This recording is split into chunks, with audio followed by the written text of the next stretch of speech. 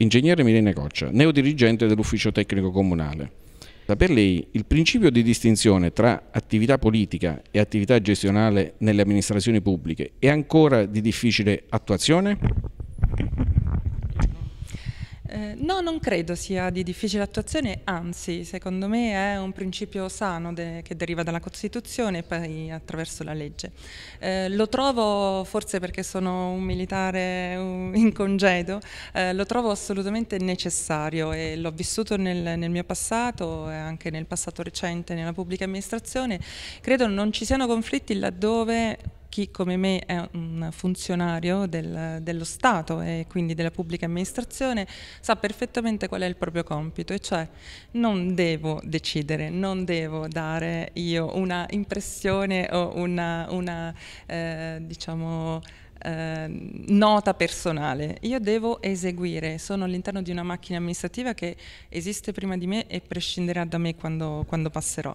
Quindi mh, il mio dovere è fare tutto all'interno del contesto che è la legge, perché per me è fondamentale, eh, ma assolutamente accogliere le istanze di un'amministrazione che è quella che uno parla a nome di chi li ha eletti e due conosce il territorio, conosce le esigenze e che quindi deve indirizzare la linea politica.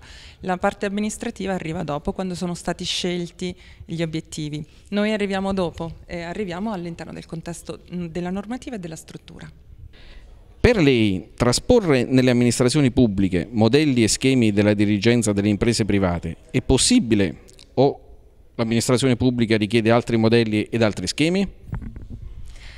L'amministrazione pubblica si inquadra eh, all'interno di una legge, e questo lo ripeto sempre, eh, quindi sembrerebbe più rigida. In realtà, eh, soprattutto la riforma degli ultimi anni del pubblico impiego va proprio verso quella direzione di renderlo sempre più eh, flessibile da un punto di vista dell'organizzazione della gestione, ma soprattutto eh, della eh, possibilità di portare quella che è l'efficienza e l'efficacia del privato anche nel pubblico. Io ho avuto questo tipo di esperienza quando dal dal privato sono entrata nel pubblico, prima amministrazione centrale all'interno di un ministero, poi in un'amministrazione periferica, quindi in un'amministrazione comunale. E devo dire che c'è più difficoltà semplicemente a superare la resistenza al cambiamento delle persone, ma in realtà le dinamiche eh, sono legate ai procedimenti e ai processi della pubblica amministrazione. Basta analizzarli, capirli, comprenderli, capirne quali sono, capire quali sono eh, i punti deboli e poi si efficienta. E questo è esattamente quello che fa il privato, quindi il pubblico rispetto al privato non deve avere nessun tipo di remora o, o paura, si può efficientare, si può fare bene, eh, certo c'è, bisogno di un po' di tempo per cominciare a cambiare le dinamiche che invece per tanti anni sono rimaste eh, diciamo, a parlarsi addosso, però sono molto positiva, io sono un entusiasta della pubblica amministrazione e quindi penso e spero che si possa fare, i tempi non saranno eh, eh, immediati, ma potrebbero stupirci, secondo me. Le prime scelte gestionali saranno rivolte all'efficientamento della gestione delle risorse umane assegnate al suo ufficio o partirà dalle risorse tecniche? Eh, le risorse umane sono la parte rigida dell'organizzazione, molto spesso non dipendono da noi, intesa come numeri, intesa anche come età, perché è un comune in cui gli, insomma, gli ingressi risalgono a tanti anni fa ma non, non diciamo proprio quanti. Eh, quindi la parte sicuramente che e poi è più affine a quello che ho sempre fatto è eh, aggredire intanto la parte tecnica, perché le amministrazioni comunali hanno bisogno di innovarsi da un punto di vista informatico, di procedure, perché questo è quello che vogliono i cittadini, perché noi siamo sempre più cittadini digitali abituati ad avere un'amministrazione pronta, attiva e che parli la nostra stessa lingua. Quindi da cittadina, prima ancora che da funzionario e da dirigente tecnico, eh, dico che dobbiamo andare incontro alla informatizzazione eh, e quindi cominciare da, dal punto di vista nostro interno a cominciare a prendere la parte tecnica in mano. Certo, la parte de, del personale innanzitutto si potrà fare, data la rigidezza del, del, dell'impiego, eh, cominciare a, ad ammodernarci, a, a, riorganizzarci internamente, a studiare i processi e i procedimenti di cui dicevo nella, poc'anzi e quindi in questo senso possiamo, secondo me, fare tanto. Poi certo vorremmo tutti una schiera di colleghi pronti, giovani, di vent'anni eh, o neolaureati, ma purtroppo l'amministrazione pubblica non non se lo può permettere. Intanto iniziamo con la parte tecnica e con la parte formativa e soprattutto di superamento di quella che è un po' la difficoltà di alcuni colleghi, che è normalissima di cambiare, perché il concetto del si è sempre fatto così non può più andare bene e quindi cominceremo a cambiare da quello. Non si è sempre fatto bene e si può fare meglio. Allora, buon lavoro. Grazie, grazie mille. Architetto Gianni Totaro, assessore all'urbanistica e ai lavori pubblici del comune di Ortona. Un primo bilancio del suo assessorato. Le due cose che si sente di aver risolto brillantemente. Allora, come sapete i tempi, i tempi della, de, dei lavori pubblici eh, sono sempre abbastanza lunghi, dal momento in cui si ha un'idea un progettuale o un, una, un, proble un problema della città eh, i tempi di esecuzione per progetto, reperimento dei fondi ed esecuzione sono sempre abbastanza lunghi. Diciamo che questi primi mesi sono stati utili soprattutto per capire la città, le esigenze che aveva e per programmare. Eh, qualcosa lo si è risolto subito, sì. Eh, abbiamo ad esempio, stiamo in questi giorni cominciando i lavori sulle riserve, eh, quelle che consentiranno cioè l'accesso alle spiagge del Ferruccio e dei ripari di Giobbe, la, Giobbe, la sistemazione dell'acqua bella e questo è un qualcosa che ci interessa molto perché eh, contribuirà sicuramente alla, nascita di una nuova economia turistica insieme allo sviluppo della pista ciclabile eh, per la quale stiamo elaborando un progetto di, di completamento che sottoporremo alla Regione e che non abbiamo dubbi che verrà finanziato. Quindi assieme a quello che è in atto eh, in, diciamo, da parte della provincia, per il tratto sud intendiamo, renderà la costa ortonese come forse quella che prima sarà attrezzata a livello di fruizione ciclopedonale e, e abbiamo visto insomma, il risultato anche in termini di apprezzamento non solo da parte dei cittadini ortonesi ma anche di, di tutti i turisti, per ora quelli della domenica domenica, ma noi contiamo anche in un turismo più strutturato, no? di quelli che, che, decideranno di venire ad Ortona per la prima volta grazie a questa importante infrastruttura e, e anche a quelle altre dovremo, di cui dovremmo dotare la città.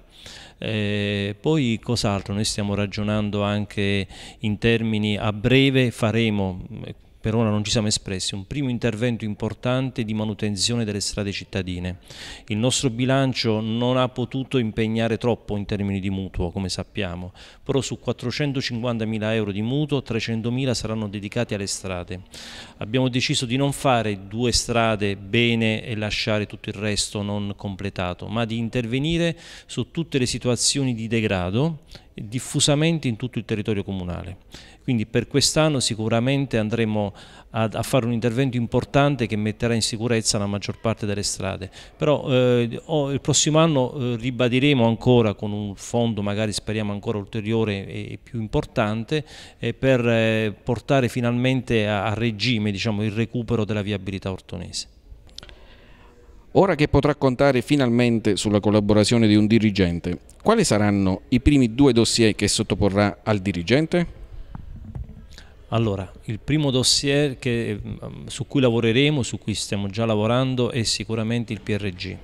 Allora, ricordiamoci che noi abbiamo un PRG del 94 e tante amministrazioni ci si sono messe d'impegno non riuscendo per ora, eh, non so se forse è una particolarità della, della complessità insomma, di, di Ortona, del suo territorio, ma non si è riusciti a dotare questa città di un PRG. Eh, stiamo già studiando eh, la situazione del pregresso, di quello che abbiamo ereditato eh, a livello di produzione proprio. E, ehm, noi abbiamo in questi mesi, in questi ultimi mesi, dal momento in cui si sapeva che sarebbe giunto questo nuovo dirigente, ab abbiamo mm, studiato insieme a questo nuovo dirigente eh, il da farsi. Quindi abbiamo, diciamo, abbiamo perso qualche qualche mese per riflettere bene, ma adesso ripartiremo in modo molto molto rapido.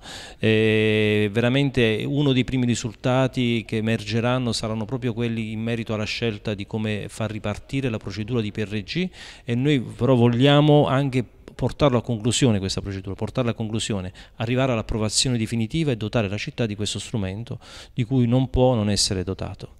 Poi il secondo, il secondo in realtà ne sono tanti, ad esempio abbiamo un'emergenza cimiteri ad Ortona, Stiamo, ho chiesto di accelerare le procedure per l'avvio delle gare d'appalto successive, delle progettazioni per dotare il cimitero di Ortona di ulteriori e numerosi e nuovi interventi per loculi e cappelle per rispondere a questa esigenza fondamentale per una città, un segno di civiltà eh, e anche per ridare decoro a quella, a, diciamo, a quella struttura.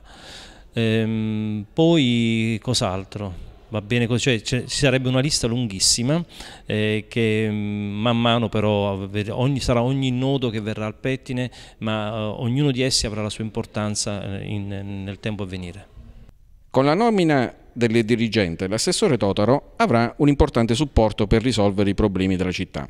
Quale sarà il primo problema, sinora rinviato, che ora potrà chiedere di risolvere all'assessorato ai lavori pubblici e al nuovo dirigente? Innanzitutto colgo questa occasione per fare il benvenuto all'ingegner Coccia, È una una, un arrivo atteso da vent'anni da questa città e non solo dall'ufficio tecnico, è tutta la città che attendeva un dirigente di nomina e non un dirigente a contratto come è stato negli ultimi anni, perché c'è tutta una macchina amministrativa, c'è un ufficio tecnico da riorganizzare, eh, da rimodernizzare e credo che l'ingegner Coccia sia il massimo garante di, per raggiungere questo obiettivo.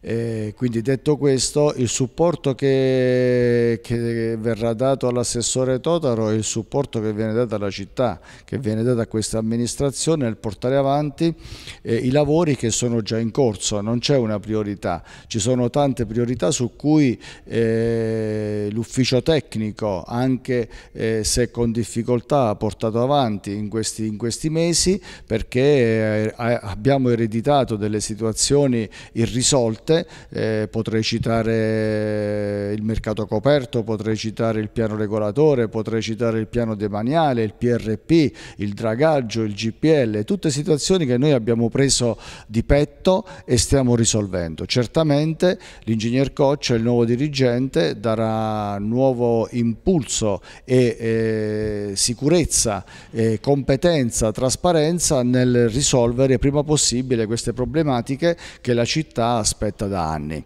Eh, il primo, potrei in ordine cronologico, sarà proprio il primo appuntamento giovedì 5 alle ore 13 andremo in regione perché la regione ci prospetterà una, una situazione, una ipotesi alternativa per l'immersione delle sabbie eh, di cui tanto si parla in questi giorni e per cui la regione ha dato una sospensiva di 90 giorni per l'inizio dei lavori del dragaggio. Ascolteremo la regione e dopodiché la città verrà informata.